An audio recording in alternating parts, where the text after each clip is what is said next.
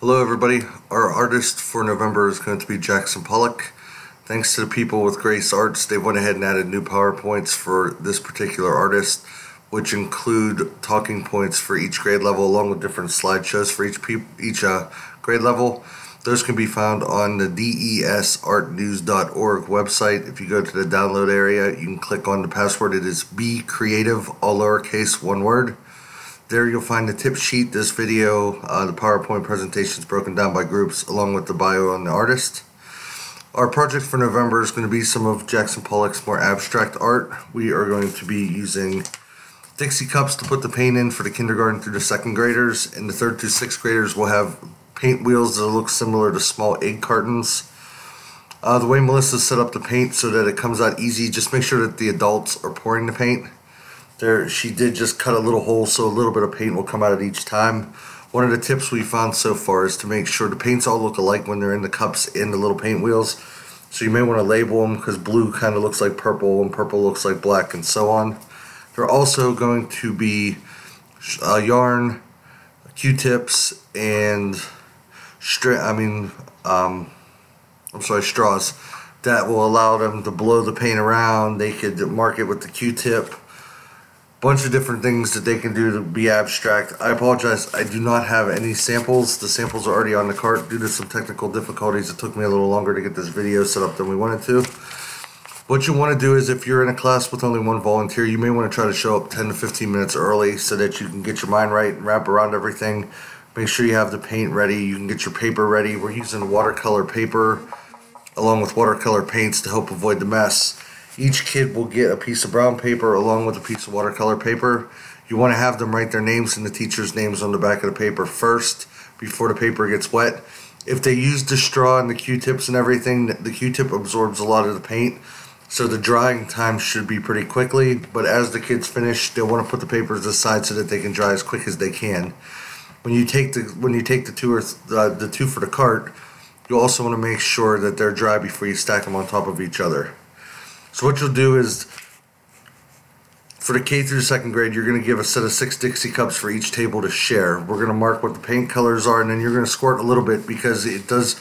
You do not need to them up. You probably only need to go about a quarter of an inch for each one, because the Q-tip will absorb the paint well along with the string. So they're not using brush paint or anything that they need a lot, and we'll have to go over it. Once they make their lines, they'll want to kind of stay with it. The younger kids can share the Q-tips so that there's not a bunch of things. The Dixie cups are also set up to be disposable, so when you dump them out, you're just done with them. And the little egg cartons with the older kids, you can have them help volunteer to wash them for you. If you have two parents, it should be a pretty seamless project, but it would be, it would be, it's very doable with one. If you kind of get, if you watch the information and you know a little bit about Jackson Pollock, just make sure you keep the video to when you're doing the presentation about 15 minutes so you have enough time to do the project and lay everything out. Encourage the students to try different strokes like dabbing, lightly swirling, dragging.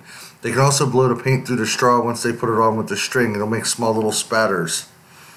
You can play soft jazz music in the back.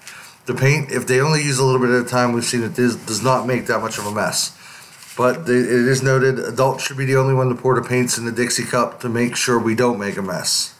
Do not let the students squirt the paint for themselves. Um, like I stated, she poked tiny holes in the inner cap that'll make the paint come out very lightly. Your final project, when you see the samples on the cart, is going to be abstract art. Circles, lines, different colors. Have fun with it. Make sure that the kids, they don't have to fill up the whole paper. If they get what they want on there, that's fine. Just make sure you pick two samples for each class so we can get them in the cart. So just make sure again that when you pour the paint in, you label the colors. You can use the brown paper to do it. If you pour in black, make a black, blue, purple, etc. So that when they dip into the purple, they don't think that they're dipping into the blue or they're dipping into the black.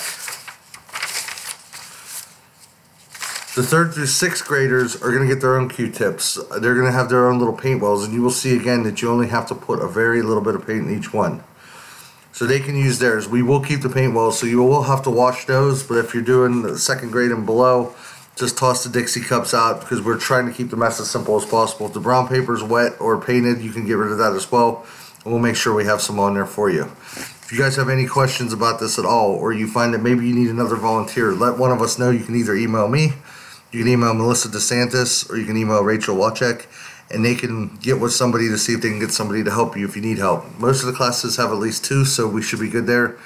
But if you don't, let me know and we'll see if we can get somebody in there to help you. So far, the first class, it was a younger group of kids. They said the class went very well, and the final project was very nice. So reach out and let me know. Good luck.